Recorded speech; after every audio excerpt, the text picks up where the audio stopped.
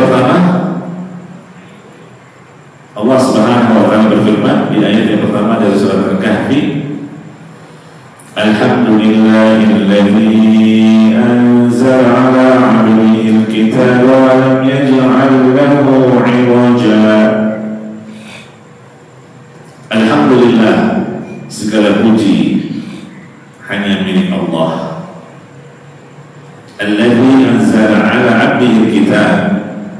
yang telah menurunkan kepada hambanya itu Nabi Muhammad SAW Al-Kitab yang dimaksud adalah Al-Quran. Lalu sifatnya Al-Quran walam yaj'al lahu iwaja. Al-Quran itu tak ada kebengkokan padanya. Lihat ini ayat yang pertama Allah Subhanahu wa taala mengawalinya dengan pujian Allah memuji dirinya Alhamdulillah ada alif lam al kalau belajar bahasa Arab itu alif lam fungsinya sebagai apa? Itu disebut lil istihqaq. Lil istihqaq artinya yang berhak untuk mendapatkannya.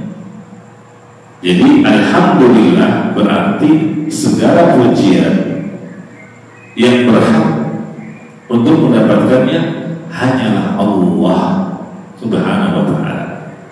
Itu secara hakikatnya. Hanya Allah yang berhak dipuji. Karena Allah yang dipuji karena zatnya, kesempurnaannya, keagungannya, dan karena banyaknya kenikmatan yang dia berikan kepada kita, kepada seluruh makhluknya. Iya. Makanya e, ketika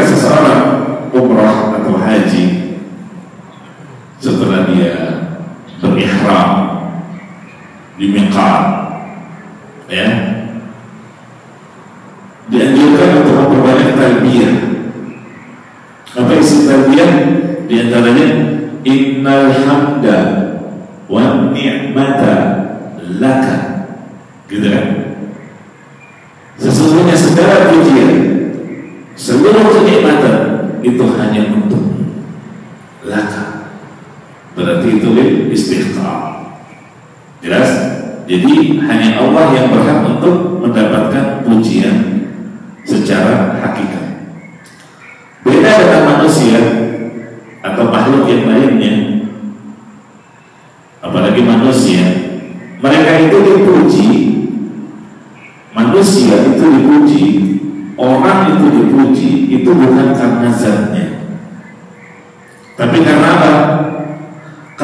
Allah yang telah memberikan kepada orang tersebut keutamaan dan kebaikan sehingga orang itu dipuji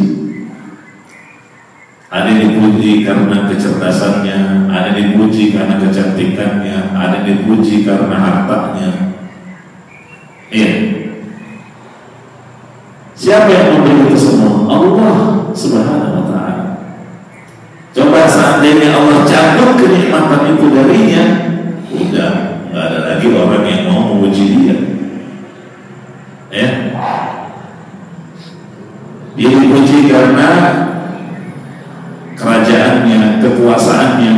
Setelah itu lengser dari kerajaannya, lengser dari kepemimpinan kekuasaannya, udah nggak lagi dipuji.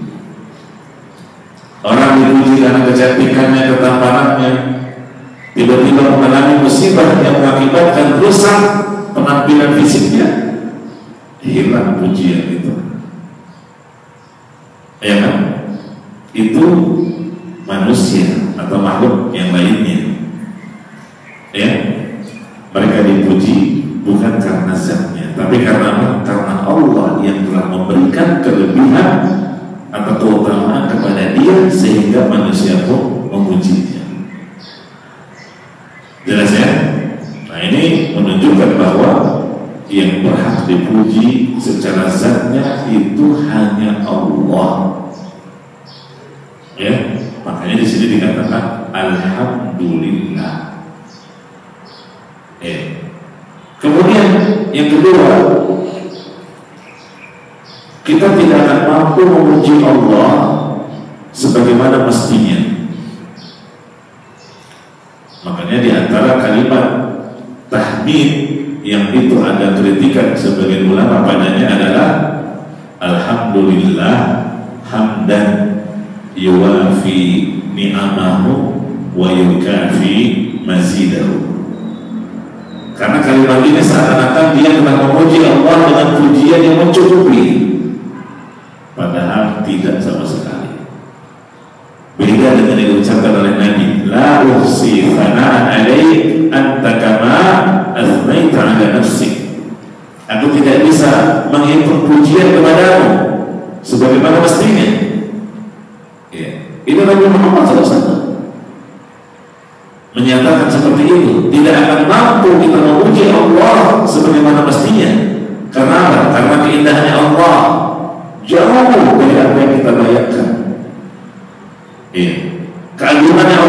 Jauh dari apa yang kita pikirkan. Kebaikannya, rahmatnya, kasih sayangnya. Ya, makanya tidak mungkin kita bisa memuji Allah ya sebagaimana mestinya. Iya. Nah ini faedah dari tahmid. Diawali dalam ayat ini Alhamdulillah